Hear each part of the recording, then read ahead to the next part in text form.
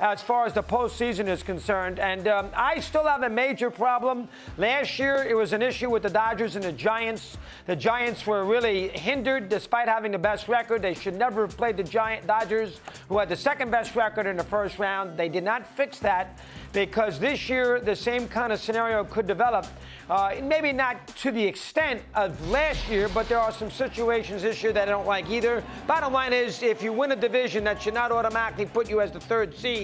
And in this case, the third seed in the American League Central and the NL Central might have a worse record than the wild card teams, yet they get the higher seed, which obviously helps the two seed and not the one seed. And in this case, the Dodgers might have to play Atlanta in the first round and stay instead of Milwaukee. Mets would get them. And the Yankees, if they had the best record, might have to play Toronto in the first round, while Houston would play the, the Guardians. Now, I mean, obviously, Toronto far more dangerous, but that's neither here nor there. Let's do the NL first because it's pretty compelling right now. The Dodgers are going to end up with the one seed, so they are going to be the one, and the Mets are going to be the two. So, I mean, I, they're five games behind, whatever it might be. They still play each other, and the Mets are putting pedal to the metal. They've done a heck of a job, and I think they would be the favorite if they met, even if they didn't have home field because of those two starters. But I mean, right now, LA would be one and the Mets would be two.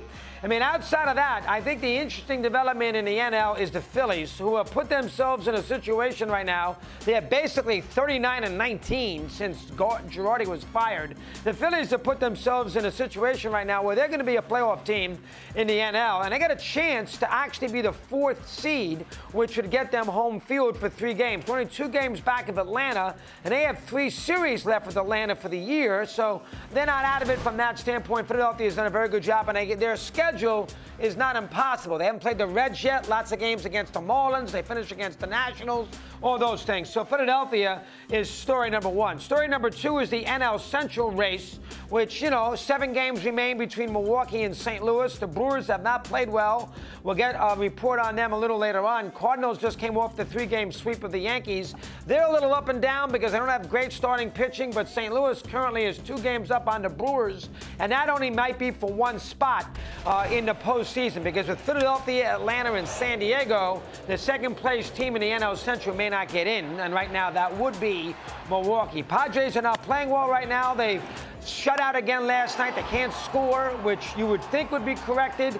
Uh, you know, again, bullseye on their back. We discussed this yesterday. I wonder about San Diego in their constitution. What is in them? Are they going to show some toughness? Uh, but right now, forget the Dodgers. They're not catching them. You know, they're going to grapple with that home field, with that fourth seed. And, you know, listen, it's funny, you'd rather almost be the five seed and not get the Braves in that first round, but San Diego should make the playoffs. So right now, Mets, uh, the Dodgers the one, the Mets the two. The NL Central winner, which currently is St. Louis, would be the three. Braves would be the four. Padres would be ahead of San Diego, that'd be the five, and then the uh, uh, Phillies would be ahead of San Diego. They'd be the five, and then San Diego would be the six. San Diego then would have to go play the NL Central winner on the road, almost an advantage to be the sixth seed, while the Phillies would have to go to Atlanta to play all three games there. Bottom line is you got five teams for four spots. One of these teams will get knocked out. Mets and Dodgers are in.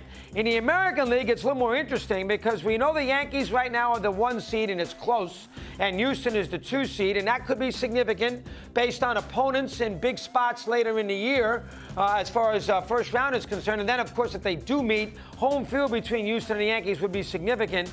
Uh, Houston won a season series if they finish tied. And one other thing we should mention here, remember, there's no tiebreaker game to make the playoffs. So if two teams for the wild card finish tied on that Wednesday, October 5th, I think it is, they don't play the game. It's head-to-head record will determine who makes the playoffs. So there's no tiebreaker game to determine who gets in as that fifth or sixth seed. So keep that in mind. Anyway, in the American League, you really got seven teams for this four spots. You got the three teams in the AL Central who are probably going to battle for one spot Guardians, Twins, and White Sox. White Sox are two out, they're two over 500.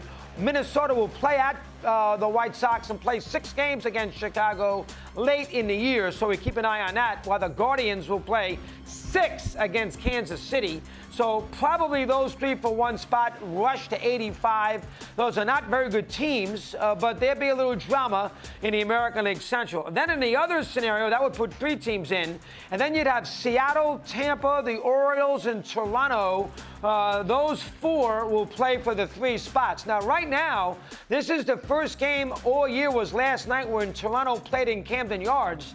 Toronto and the Orioles play a lot of games. 14 to go uh, in the American League East, which I did not realize. Toronto's got two more trips into Baltimore after this one, and Baltimore's got two trips to Toronto. Tampa and the Orioles will finish their season series this weekend in Tampa early, and then Tampa, of course, is in the mix an awful lot uh, down the road here with uh, the Blue Jays. Now, remember, Seattle's in an easier division, and after Seattle gets by the Yankees these next two games, uh, and right now, they, you know, they're in playoff positioning. Once they get by the Yankees, their schedule eases up big time because they play a lot of those teams in the American League West. They play the Nationals, they play the Guardians, and they finish up with Detroit. So you would figure that Seattle has a little bit of a scheduling advantage over these teams in the American League East. The Red Sox are two under 500. They're done. We're not going to talk about the Red Sox until you get over 500 and make a little headway. They have been awful for a long period of time, so forget Boston. And we're going to forget the Giants right now. I know the Giants are dangerous, but we're going to forget them because they got a couple of pitchers, Rodón, down Webb. But we're going to forget about San Francisco right now. They're still four or five games back of the wild card, and they're under 500, which is my old rule. If you're not 500 or better, I don't want to talk about playoffs. And so this is not the NBA. Uh, so from that standpoint, the Giants and the Red Sox we're going to put on the back burner. So you have the seven for the four in the American League, and you got the five for the four in the National League. I think the team that might be left out right now is Milwaukee. I, I don't like the way Milwaukee is played. I think there's a bad vibe in that clubhouse with the Hader trade. They still don't hit enough. I mean, we'll get a report on them a little later, but I'd be worried about the Brewers. They haven't played well for a period of time.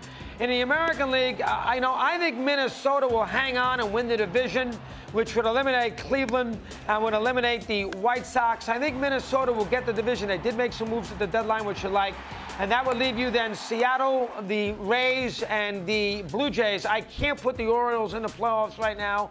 I, I, to me, they're still more a feel-good story than they are a playoff story. Now that could change, and they've done a heck of a job. They have four or five games over, and they have beaten everybody. But I still think that the Orioles are not going to make the postseason. So I'll say the Orioles, the, the Guardians, and the White Sox out in the American League, and I will say the Brewers are out in the National League. Again, the key thing, remember, there's no tiebreaker if somebody finished tied for a playoff spot. And also remember, if you're the first wild card, you get all three games at home. Uh, so, and if you win the division, you automatically get no worse than a three seed.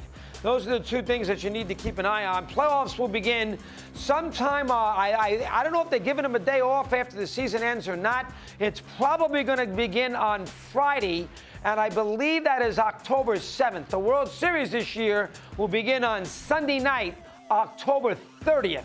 So because of the lockout, the World Series will be up late, and it's up against Monday Night Football, or uh, Sunday Night Football too, which you hate.